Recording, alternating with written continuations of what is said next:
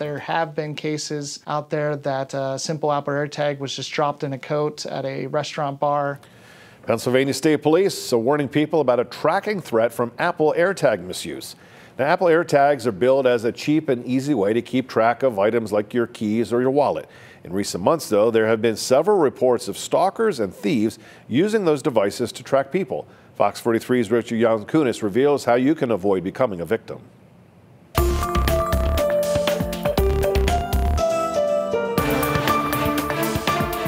Apple AirTags are designed to help you find lost items, but criminals are using them to stalk people. To show you how, I'm going to drive around Lancaster County with this device in my car. The iPhone this AirTag is connected to will stay about a mile away, tracking my every move. Nationwide, people are finding Apple AirTags hidden on their cars or in their belongings. It seems like it's happening to a lot of people, and I don't know if I'm in danger. Unsuspecting victims getting an alert on their phones hours later. A beeping sound leads them to the device.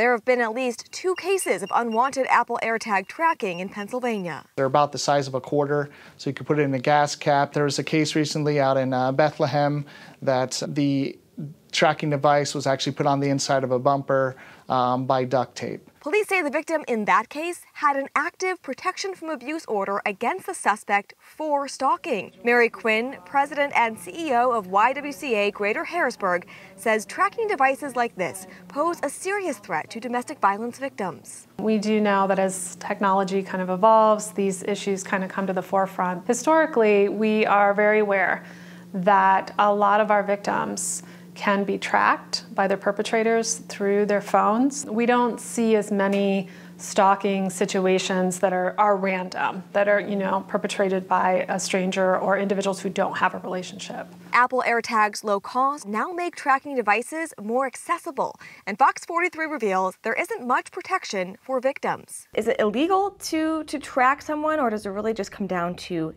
intent? Stalking cases are, are, very unique. Right now, there's currently nothing uh, in the law that specifically um, is focused on Apple AirTags or a tracking device of that nature. State Representative John Galloway plans to introduce a bill to prohibit remote stalking with Apple AirTags. It's unclear when it will make it to the House. A map of AirTag's path shows exactly where I drove around Lancaster County.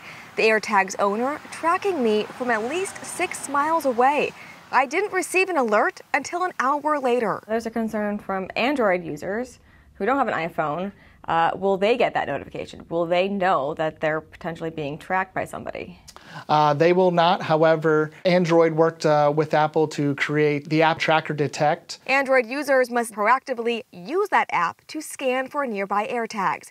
Turning off Bluetooth or location services won't prevent unwanted tracking. Fox 43 reveals the only way to disable the device is to find the AirTag, tap instructions to disable, and follow the steps on screen. Only then will the AirTag owner no longer get updates on its current location and yours. If you see an Apple AirTag that doesn't belong to you, that seems really suspicious, uh, contact your local law enforcement agency immediately.